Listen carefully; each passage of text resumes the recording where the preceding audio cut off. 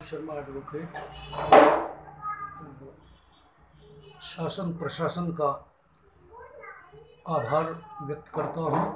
क्योंकि हमारा कावड़ मेला हिंदुओं की आस्था का प्रतीक है, जिसमें सभी हिंदू मुसलमान भाई आपस में सौहार्दपूर्ण वातावरण बनाकर और आपस में मिलकर इस आस्था पर्व को पूर्ण करते हैं। मैं उसके लिए धन्यवाद देता हूँ।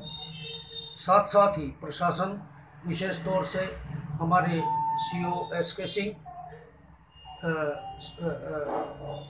कोतवाल, मंगलोर, श्री गिरीशचंद शर्मा एवं श्री कमल कुमार लुंठी, जो हमारे कोतवाल हैं, थाना गंगनहर के, और विशेष तौर से साधना त्यागी जी, जो एक महिला होते हुए भी इस तरह से उन्होंने अपने कार्य को अंजाम दिया और इस तरह से कुशलतापूर्वक जो है अपना कार्य संपूर्ण किया। इसके लिए वो बधाई के पात्र हैं।